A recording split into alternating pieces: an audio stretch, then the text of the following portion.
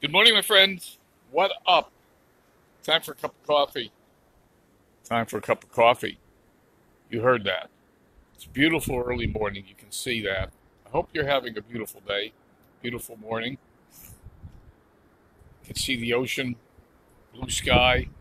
The breeze is warm this morning, really warm. And I put up a question what is fear? You know, there's an acronym that runs around. We, we've all heard it false evidence appearing real. So if you feel fearful of something, you can say, well, it's just false evidence appearing real. Rid. There's another interpretation that I heard this morning that I really like, and that is feeling excited and ready. You see, the emotions that your body generates when it feels fear are really the same emotions that it generates when it's feeling excited.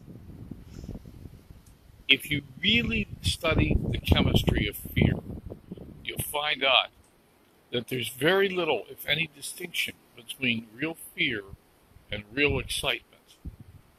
It's just the way we interpret the feeling.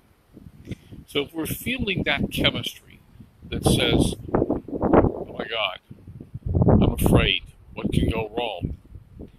You can change it to, oh my God, I'm excited. It could go right. Imagine if instead of fear being what can go wrong, it becomes what can go right. Imagine. Because you see, it really is.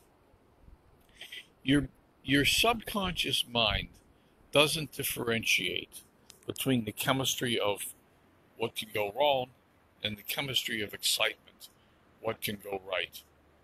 It, it doesn't differentiate. You can turn the fear of something into excitement for it. So, what is it that you're afraid to do, that you want to do, that you'd like to do, that you wish you could do? And instead of being afraid of it, start to get excited about it. Start to generate enthusiasm. Start to generate a positive belief that if you just step in and give it your all, it can all go right instead of wrong. Think about that. What if your fear became excitement? And now it's time to move on in life. There's nothing to be afraid of. I think it was Roosevelt that said the only thing we have to fear is fear itself. Let's move on. Ladies and gentlemen, I hope you're going to have a wonderful day as usual. I intend to be happy. Hello, Tim. Good morning. Hello, Apple. Good morning. Good morning, good morning, good morning. I was talking about fear and a slightly different interpretation of fear. We've all heard fear called false evidence appearing real. What if we call fear feeling excited and ready? Because the reality is the chemistry of fear is the same as the chemistry of excitement. I think it was Tony Robbins. I'm not 100% sure of this, but I think it was Tony Robbins who I once heard say that when he was getting ready to walk on a stage and he felt fear, that he real he turned that into excitement for what was about to happen and realized it was the same thing. It's the same feeling. The reality is, your physical body can't tell the difference between fear and excitement. It's the same feeling.